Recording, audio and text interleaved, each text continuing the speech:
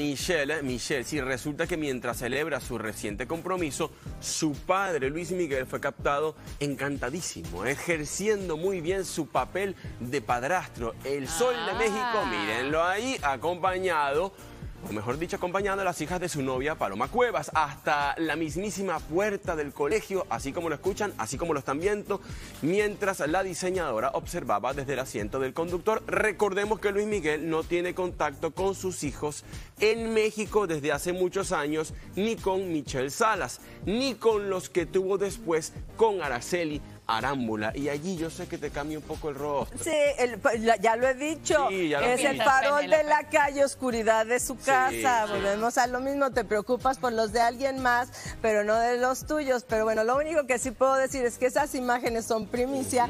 Ya estamos viendo ahora, así que bueno, después de todo es muy buen papá. bueno, a lo mejor es su manera de reivindicarse. Ajá. Yo conozco otra manera mejor de reivindicarse, bueno, pero bueno. Yo, yo por echarle la mano. bueno, unas flores.